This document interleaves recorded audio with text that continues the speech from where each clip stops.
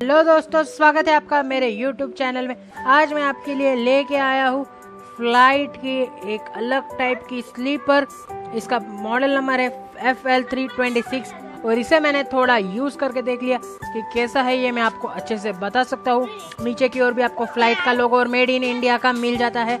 यहाँ पर आपको फ़्लाइट का लोगो मिल जाता है। कुछ इस तरीके का काफ़ी क्लासिक लुक है इसमें।